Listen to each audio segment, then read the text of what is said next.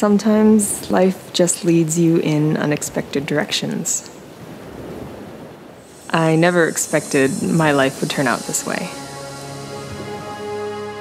My office is the sea, and this is what I get to do almost every day.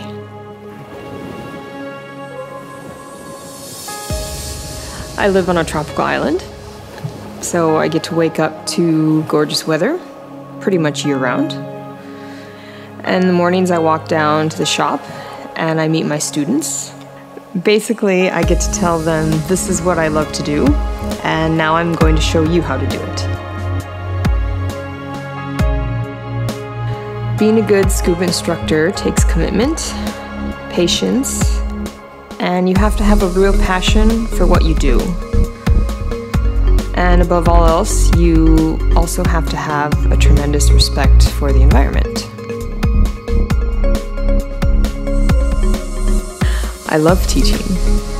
When you see that spark of your passion in your students' eyes, it's almost as if you're passing a part of yourself onto them.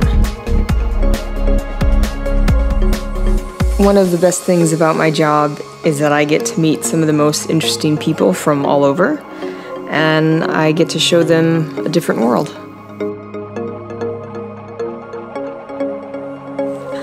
Well, before I started diving, I was a canoe guide and I was also a band teacher. I've always loved the outdoors, and now because of diving, I get to play outside a lot. And when I'm not underwater, I teach yoga. Becoming a professional diver was a natural choice for me. I had some great PADI instructors, and I would see them and think, I want to be like that person. And the atmosphere on the IDC was great. My course directors and staff instructors really helped to create a team feeling for all of us, and we all became a family. Now I'm working towards my master instructor rating, and since I can do this anywhere, I can live and work in these amazing places, and I can do the things I love and explore other seas.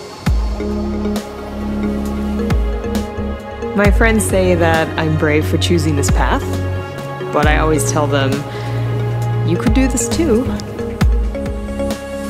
The people who are hesitant and nervous to take that first step just shouldn't be afraid, because at times you just have to let some things go in order to embrace something else. And you just need to remember how big the reward can be and what adventures await you. My name is Krista, and I'm a PADI dive instructor.